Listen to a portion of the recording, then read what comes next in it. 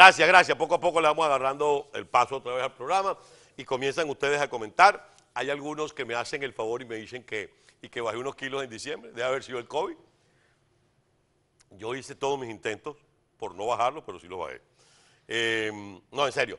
Eh, saludos desde Chile, desde Perú. Eh, un cumanés que le desea cada día más libertad a Venezuela, desde Valdivia, Chile. A ver, por acá desde Venezuela, por aquí desde Caracas, Venezuela. Buenos días, feliz año 2022. Buenos días desde el Zulia. muy buenos días, feliz inicio de semana y sobre todo muy feliz año nuevo para ti, para toda la familia y para todo el equipo de EBTV. Buenos días desde Mérida, Venezuela. Buenos días desde Australia. Reciba un feliz año, señora Costa, para usted y su maravillosa familia. Reciban un fuerte abrazo. Eh, señora Costa, todo el equipo que la acompaña, saludos desde Naguanagua, Estado Carabobo, después desde Monaga, desde Trujillo. Bueno, ya los voy a seguir leyendo desde donde quiera que se encuentren. Por eso decimos que somos el canal de los venezolanos en el mundo. Pero comenzamos, amigos, a compartir con ustedes las notas que hacen titular el día de hoy.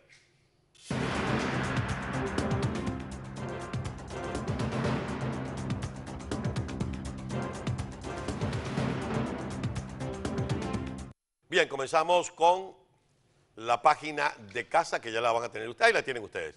El secretario de Defensa de Estados Unidos dio positivo por COVID-19. Es el principal titular. Al menos 17 muertos.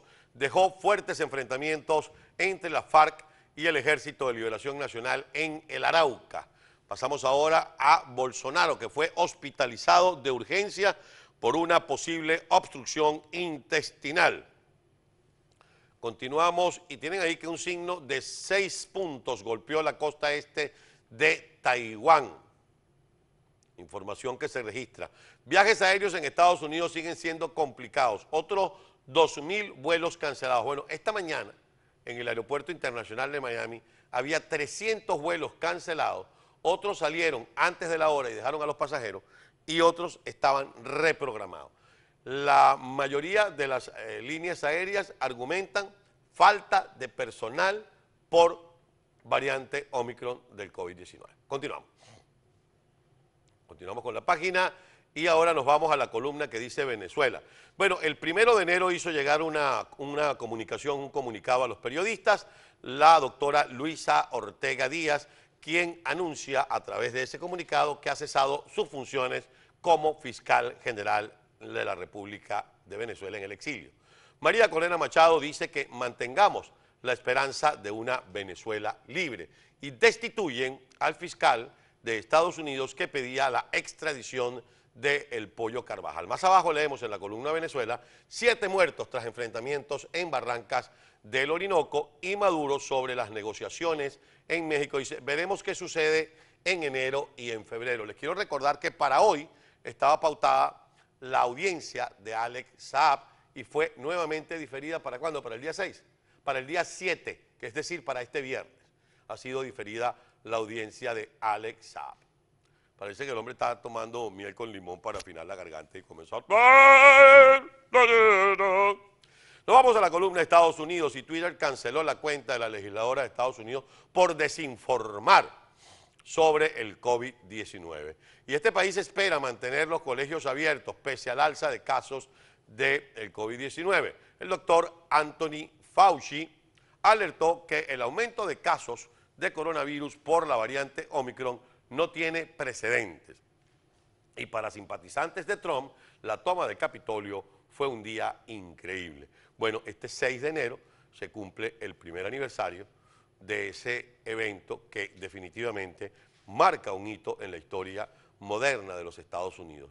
La forma violenta como un grupo de seguidores del expresidente Donald Trump se tomaron el Capitolio de los Estados Unidos. Pasamos ahora a la lectura de la siguiente página y vamos a leer para ustedes. ¿Qué colocamos, Yandri Valentina? Hoy nos acompaña en la producción El Orgullo de Pedro González, porque mi productora María Fernanda Soledad está esperando resultados de prueba Omicron porque tiene este, síntomas. Esperemos que todo salga bien. Violencia desbordada. Esto es Caraota Digital. Estos fueron los municipios más peligrosos del año 2021. Después tenemos la información sobre Jair Bolsonaro, dice que fue hospitalizado de emergencia tras quejarse de dolores abdominales. Variante Omicron podría cambiar el concepto del completamente vacunado. Más abajo, con fotografía, un Magallanes imparable quedó solo en el primer lugar del round robin. Ahí tienen ustedes la clasificación del béisbol profesional venezolano. Y con la plantilla mermada por 16 bajas, el Barça ganó y escaló al quinto puesto de la clasificación.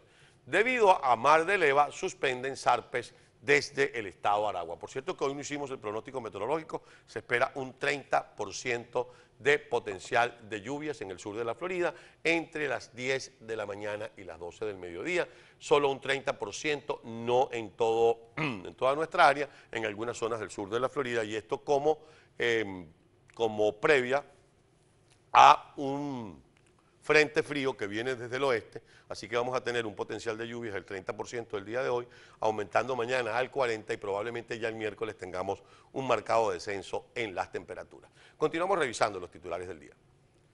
Nos vamos ahora con eh, telesurlibre.com. Rumbo a las presidenciales colombianas, más de 20 precandidatos y tres corrientes de voto. Y no nos podemos caer a coba. En algunas encuestas todavía el peligroso señor Petro encabeza las encuestas. Y no puede ser que los colombianos vayan a decidirse por el atraso, por el hambre, por la destrucción, por la miseria, por el narcotráfico que representa el señor Petro. Por suerte en Colombia hay doble vuelta y es importante que los factores que se enfrentan al llamado socialismo del siglo XXI, que no es otra cosa que una peste, logren acuerdos para que de no ser en la primera y en la segunda vuelta, Petro vuelva a ser derrotado. Seguimos. José Antonio Caz renunció a la presidencia del Partido Republicano. Llegó la hora de que un nuevo liderazgo asuma la conducción del partido. México ya es el segundo país con más casos de la variante Omicron en América Latina. Barrancas del Orinoco, el pueblo pesquero venezolano ocupado por el narcotráfico que arrancó el 2022 con balacera. Iván Duque dice que no negocia con bandidos y que Otoniel debe ser extraditado. Después tienen allí usted en el Twitter de... Ah, bueno, ya. Regresa por favor a, la página anterior si es posible. Ahí tenía el Twitter de, de, Telesur que explica un poco la nota que tiene que ver con Colombia. Y es que más de 20 precandidatos en firme a la presidencia de Colombia se cuentan día a día. Semejante variedad generará al espectador casual una impresión de gallinero, muchas voces y poca claridad. Pero tras esta superficie caótica y fragmentaria se esconde un cierto orden en el voto, algo parecido a una estructura que nos permite intuir cuáles son los parámetros en los que se desarrollará la próxima elección colombiana. Ahora sí pasamos a la siguiente página y es el nuevo Herald. Mientras era juzgada en Miami por una estafa, según la policía, una pareja engañaba a los desesperados buscadores de casa. Esta es una información, ahí lo tienen ustedes, que trae el nuevo Gerald. Pero me voy arriba a las últimas noticias. Muere Ana Bejarano, solista del grupo Mocedades. Aquí ¿a alguien se le olvidó poner el teléfono en silencio. Variante Omicron nubla el final de la pandemia el olor corporal influye a la hora de elegir pareja. Pero por supuesto que influye, hermano. A menos que usted tenga COVID y haya perdido el olfato. Los 10 alimentos que deberán formar parte de tu dieta para este 2022 y arrancan con pescado. Comisión del asalto al Capitolio sostiene que Ivanka Trump pidió a su padre que detuviera la violencia. ¿Cuál es la jubilación máxima del Seguro Social? Bueno, depende de lo que usted gane. Ahí tiene una calculadora y los parámetros. Bueno, decíamos que Bolsonaro ha sido hospitalizado en Sao Paulo, detenido en España el rapero dominicano Simon Filey o Philly por explotación sexual. Comisión de asalto al Capitolio sostiene que Ivanka pidió a su padre que detuviera la violencia y naufragan 19 cubanos cerca de los Cayos de Florida a pocas horas de que finalizara el 2021. Vamos a la siguiente página y colocamos para ustedes el diario Las Américas. Biden dice que Estados Unidos responderá si Rusia invade Ucrania. Bueno, Rusia, o mejor dicho, el papá de Maduro, Vladimir Putin, recordemos que Maduro es un hijo de Putin, eh, estuvo conversando con Joe Biden, presidente de los Estados Unidos, vía telefónica en la última semana del año. eh, y obviamente el, tema de Ucrania, pero no descartamos que el tema venezolano también haya estado. Y después nos enteramos que Rusia va a abrir una fábrica de fusiles Kalashnikov en Venezuela. Un parque subacuático en Miami, nuevo proyecto para el año 2022. Spider-Man continúa en el dominio de las taquillas en Estados Unidos y Canadá. La Cuba de los años 50 a todo color en video restaurado. Siete muertos tras tiroteo entre grupos armados en Venezuela. Siguiente página. Y nos vamos ya con Infobae. Infobae nos dice que Jair Bolsonaro fue ingresado de urgencia en un hospital de Sao Paulo tras interrumpir sus vacaciones. El cirujano del presidente, Antonio Luis Macedo, dijo que desde Bahamas que retornará a su país para atender el caso y estimó que podría ser una nueva obstrucción intestinal. Bueno, y el príncipe Andrés enfrenta una semana crucial. Hoy se conocerá el acuerdo secreto entre su amigo Epstein y una víctima. Y Omicron podría cambiar el concepto del completamente vacunado. Y cerramos con la nota de que el terremoto de eh, mm, Taiwán fue de 6,2 grados y dos medios israelíes fueron hackeados en el segundo aniversario de la operación que abatió a Qasem Soleimani. China y el creciente desequilibrio entre la coerción y el consenso. La Guardia Civil Española detuvo a uno de los mayores estafadores europeos de criptomoneda y Mel Gibson, de ser el hombre más sexy, vivo a la cancelación por violento. Grupo chino Evergrande suspendió su cotización en la bolsa de Hong Kong.